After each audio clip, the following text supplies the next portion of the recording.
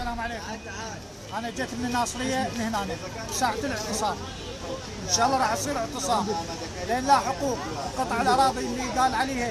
من زمن مالكي لحد الآن ولا قطعة ارض ناس على الطلبه طالة ملايين. وكلها ابار وتقدير وكلها كذب بكذب جايين هنا نطالب بحقوقنا.